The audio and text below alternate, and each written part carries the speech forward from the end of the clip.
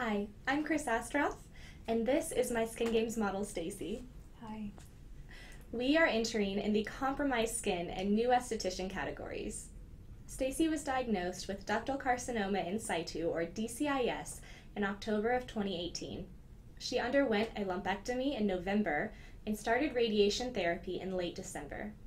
You will be following Stacy's journey through radiation and watch us as we work to protect the integrity of her skin and reduce the effects of radiation.